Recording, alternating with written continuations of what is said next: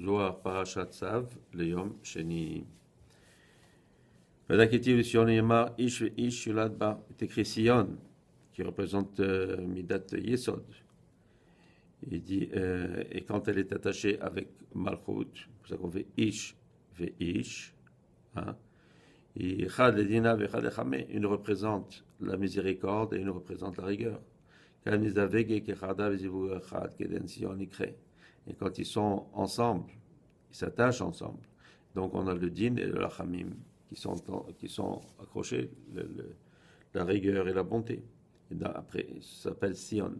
Et Sion, Yerushalayim, j'étais Modar, Veshtekar. Donc il y a Sion et Yerushalayim. Sion représente euh, Yesod, Yerushalayim, Malchut. Veda, Veda, Talia. Et un est dépendant de l'autre. Vatarabi Yosef Amar, Ketiv. Et Kedashtem, Veitem, Kedoshim. Il est écrit, vous vous sanctifierez, vous serez sanctifiés. Et celui qui se sanctifie ici, ça veut dire dans ce monde ici, il est sanctifié par en haut. La même chose, quelque chose qui s'impurifie est aussi impurifié par en haut.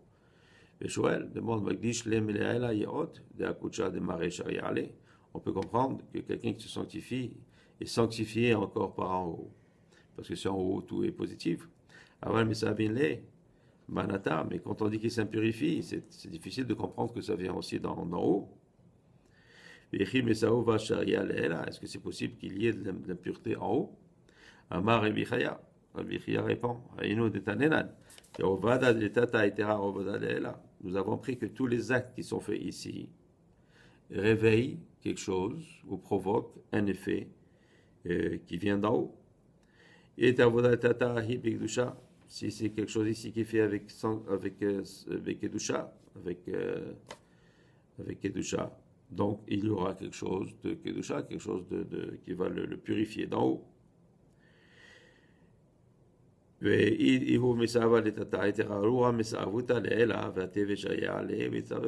s'il fait quelque chose qui est impur, alors donc, il va réveiller un esprit d'impureté qui vient d'en haut, qui va l'impurifier aussi. Comme nous avons dit, de, des actes dépendent des résultats. -dire des actes ici vont dépendre des résultats qui viendront d'en haut.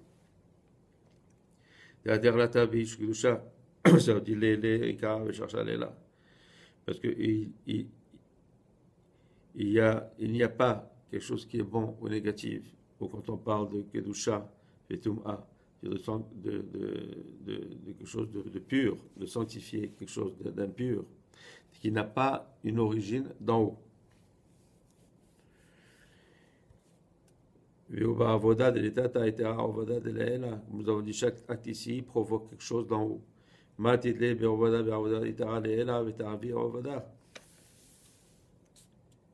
il dit, et non seulement ça provoque quelque chose en bas, mais un acte ici provoque un acte d'en haut. Il dit la même chose. Tout ce, qui est, tout ce qui est prononcé comme mot, comme parole, provoque aussi des paroles d'en haut. Si tu dis un mot, qu'est-ce qui peut vraiment provoquer? Il dit Ela Ketiv, Daber Davar. C'est écrit Daber Davar. En hébreu, Daber veut dire parler et Davar veut dire une chose. Donc tu as dit une chose. Ao Davar, Itera Mila Arara Ela avait écrit Davar. Il dit ce mot-là donc va déclencher quelque chose, le mot Daber, quelque chose qui s'appelle Davar, qui veut dire un acte, une chose. Devar Hashem Asher Aya, ou Devar Hashem Aya Yakar. D'autres exemples qui sont donnés. Il dit. Euh,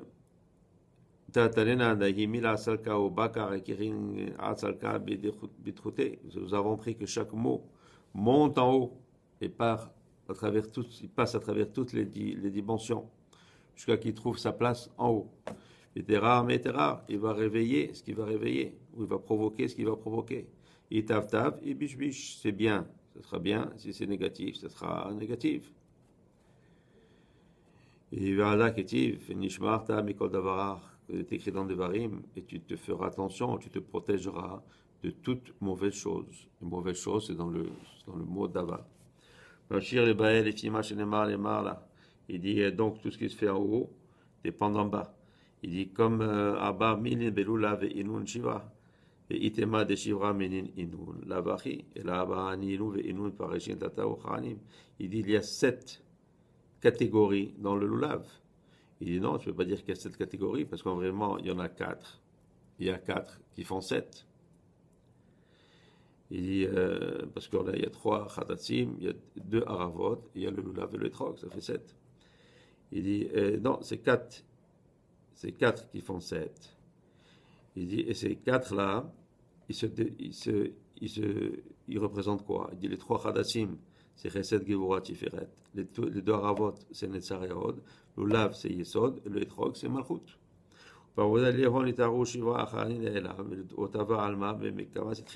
Et donc, avec le, geste de, ces, de cette, ces catégories-là, on amène quelque chose d'en haut.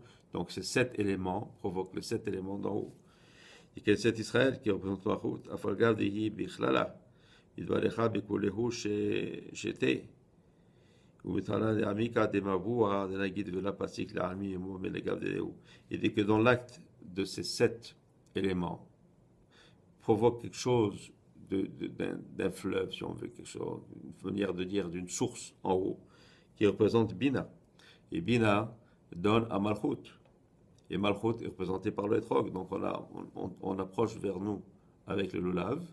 Et en approchant de notre ici, on transmet au Lulav que l'on tient avec la main gauche.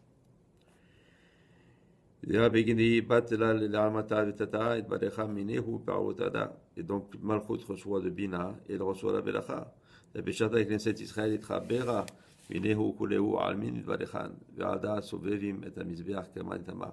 quand Malchut, donc le Etrog qui représente Israël, reçoit, tout est béni, la Belacha, elle vient partout.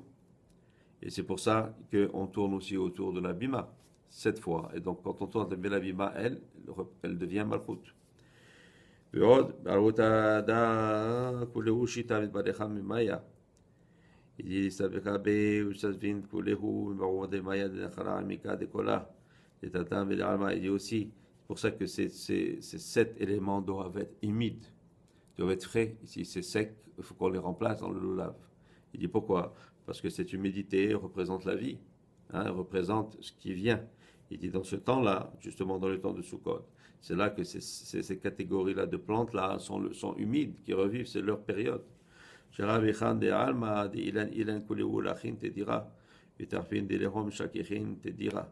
Il dit c'est pour ça que, donc, avec cette humidité qui représente le shefar, hein, il dit on l'attire sur nous pour le transmettre au Létrog, et le Létrog qui représente euh, Malchut, qui représente Knesset Israël.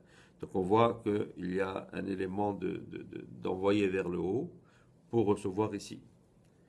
Et c'est pour ça que c'est un temps de joie. Et que Hachem nous aide à comprendre tous ces secrets du Lulav qui sont très profonds. Hachem, Amen, Amen.